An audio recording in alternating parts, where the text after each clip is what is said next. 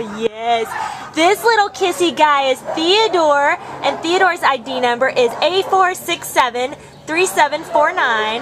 And Theodore is a Chihuahua mix, but as you can see, he's got the most amazing cow colored coat, which is just awesome. We think he's actually about 10 years old, so he's a little bit of a senior guy, and he came in as a stray on February 4th from West Covina, weighing 4.2 pounds. And Laura's going to tell you a little bit more about our friend Theodore. Theodore is awesome. He is just the tiniest little guy. He's a pocket pal, basically.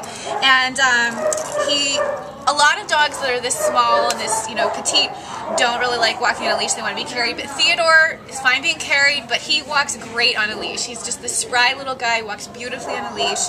He gets along well with other dogs. He's friendly with people.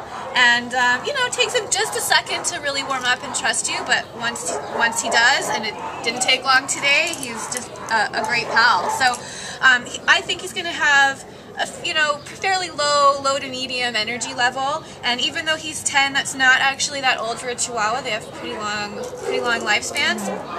He's going to make a great companion uh, for somebody in an apartment or a single family home. And I would just probably say no really young kids just because he's so tiny.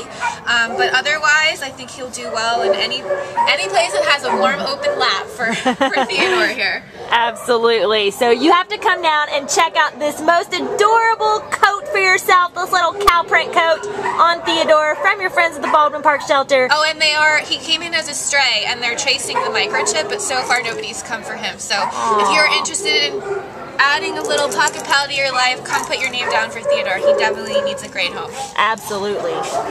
Bye, Theodore.